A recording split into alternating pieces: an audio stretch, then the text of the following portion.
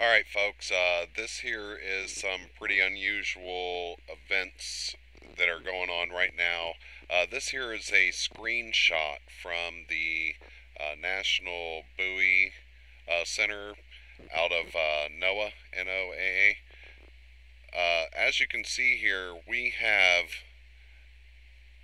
a lot of buoys around the entire world that uh, have not been sending any information back for the last eight hours. So every buoy that you see here in red, all of those buoys are down.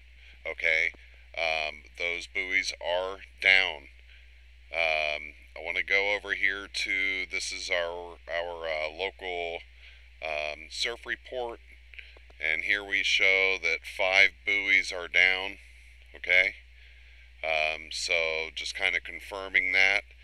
And uh, also, if we go over here, let's just click on the National Data Buoy Center, and the site is down, okay?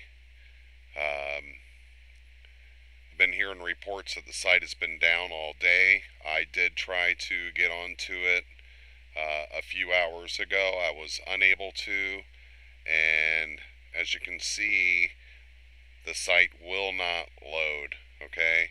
So I'm going to close this and let's just go on to the next one here. I've got nothing nothing. Um, this is a very unusual event. Uh, it's very possible that there could be a technical glitch. Uh, let's see what happens here. Um, to this point here earlier and it would not finish loading. Uh, my battery is low on my laptop. Um, I'm going to go ahead and plug it in. Please pardon the hum that you're going to hear. Um, so let's go on back to that site. Let's try and let it download here again um, with my battery plugged in. Uh, like I said, please pardon the hum. I know it can be a little bit annoying. I do apologize.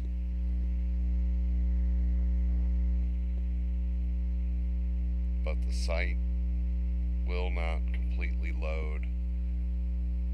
It appears that the National Data Buoy Center's site is down. Uh, this screenshot uh, came to me um, from another forum. There you can see the link to the uh, to photo bucket of the screenshot. So if you want to try and find it that way um, but as you can see this site will not load.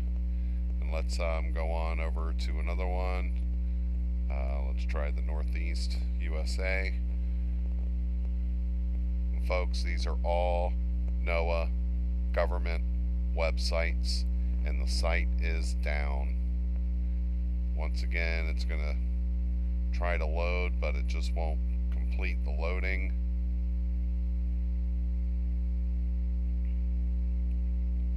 And while that's loading, I want to point out, you know, once again, this here is a screenshot that was taken uh, November 17th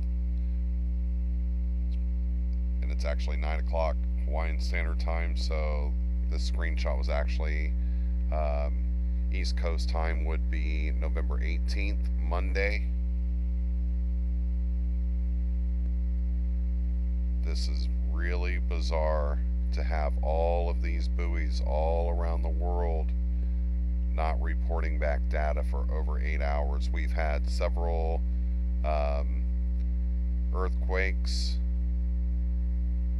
down in the Scotia Sea. Uh, one of them was a 7.8, and that happened, uh, I believe, yesterday. Uh, and then we've had a 6.8 the day before down there. We have two volcanoes right now going off in Indonesia. We also have Mount Etna uh, waking up over in Italy. Um,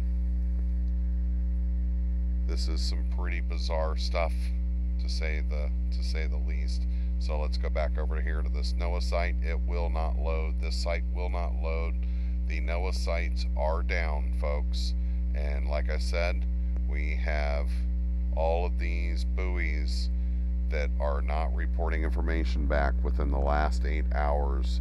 And uh, once again, this here is O'Maui. Um, there you go, it's O'Maui.